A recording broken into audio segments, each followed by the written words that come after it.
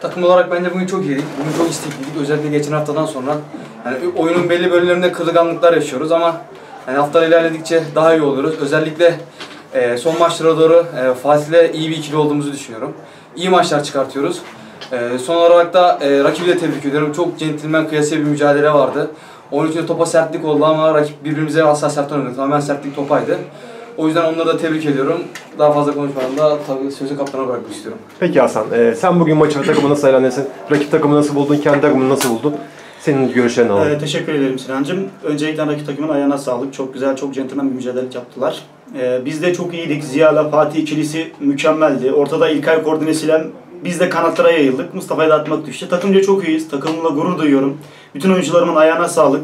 Belki de ivmeyi yakaladık. Serkan olsun, Ziya olsun, Mustafa olsun çok güzel bir ivme yakaladık. Buradan playoff'larda yarışacak arkadaşlara başarılar diliyorum. Onların karşısında Dinamo gibi bir Dragons geliyor. Bunu beklesinler diyorum. Peki size bu yolda biz de tekrar başarılar diliyoruz. Teşekkür ederim. Teşekkür ederiz.